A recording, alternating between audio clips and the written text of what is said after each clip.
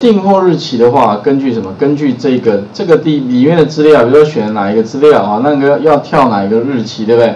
那这里的话呢，这个公式啊，特别注意就是我们会有个对照表啊。不过在讲这个之前呢，顺便讲一下这一个清单的部分啊，资料验证。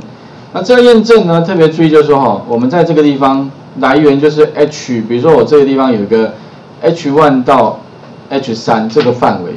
那你可以给他，就是说这个资料验证里面的清单哈，你可以给几几个资料。第一个就是说哈，你可以给一个范围，哈。那这可是这种方式你会发现，这样子放在这里哈，有点怪怪的。为什么？要放旁边，本来这个销货单很完整的，旁边多一个这东西，所以通常哈我们不会放这里。那会放哪里呢？比如说这地方哦，可以把它另外再剪下来。剪下来可能再另外再开一工作表，把这个这个地方的啊工作表，这刚刚的东西把它放在这个地方这个范围里面。那这个比如说这里面给它一个名称好了哈，呃比如说这个邮件哈哈，比如这个邮邮件哈，这个这个给它一个一个工作表名称。那我们要怎么样可以取得？如果你把它转移到这里之后的话，那销货单你会发现这个地方哦，它会这个地方点击的话，现在就没有效果了，对不对？所以资料验证地方呢就必须要改，你会发现这地方参考不到。那参考不到的话，会会有呃这个这个就会很麻麻烦。那怎么样哈？可以把这里面的资料带过来。特别注意哈，如果你今天的那个版本是二零零三的话，那二零零三的这个来源参考不能跨工作表，它一定要在同一个工作表啊。那如果说你二零零七以后的话，可以跨工作表，不过的话你要自己打上去。那比如说我们这个范围哈，这个范这个位置是在邮件里面的，比如说 A 二一直到 A 四好了哈。那我们这个地方加上去的方式就是在这个验证里面哈，这里的话就自己要打上去，你选的也没办法选，因为它没办法跨工作表，你就必须要自己打上去邮件。然后呢惊叹号一下哈，这个地方的话 A 二到 A 四你要自己 T 上去。我这里好像也不是很人性，我按确定之后，这个时候点下去就可以了，有没有？跨工作表在二零零七之后才可以，但这个方式哈还不是很理想。一般的话哈，通常会怎么样呢？通常我比较建议各位哈，可以用什么？用公式里面的什么？就是叫做名称管理员，名称定义一个名称，比如说这个范围哈，我就。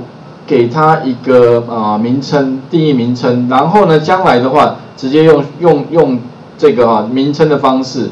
那比如说哈这边的话，嗯，比如说这这边的话，我们可以在上面给一个标题啊，比如这个名称的话哈叫做就是，嗯，比如说就是性质好了哈，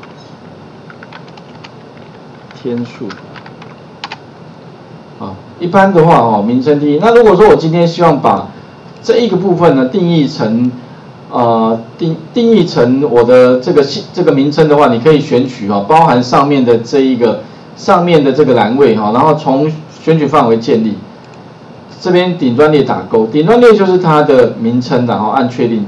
那你各位可以在名称定义管理员里面可以看到，这边就会有个性质，那性质指的就是 A 二到 A 四的范围。那你可以再利用这个方式的话哈，再到什么呢？下拉选单这边哈，我们点这个地方，然后再到这个这这个这个啊资料里面的话哈，资料验证，验证里面的这个范围没有？除了说可以跨工作表之外，还有一个方式，按 F 三，F 三就是取得那个名称，那名称有个性质，按确定，这样也可以，它会自动对照到这个范围，按确定。确定之后的话呢，你按下拉也是 OK 的，所以哈，呃，下拉选单的来源取得哈有几种。那如果跨工作表，你可以用，但是你要自己 key。那你可以用名称的方式取代，这第二种。那一般哦，我再教各位第三种方式哦。不过第三种方式的话呢，通常是如果你这个里面的资料不太会变动，已经固定的话，那你可以用第三种方式。第三种方式就是直接怎么样呢？非常简单，这个里面的话，直接把刚刚的这个，哦，这三个怎么样？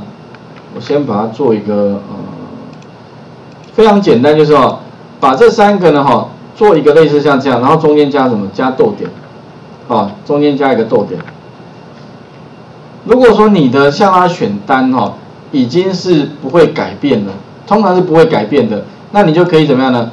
在这个里面啊，这个这个下拉选单里面呢，资料验证里面呢，就直接怎么样呢？把刚刚这个东西加上去，就是一个名称逗点，一个名称逗点，这样子的话呢，按确定，哎，就也是可以。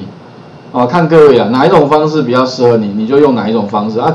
目前我有三种方式，啊，三种方式。这里的话，我想各位哈试试看，啊，这位下拉选单的部分，啊，把画面呢还给各位一下试试看哦。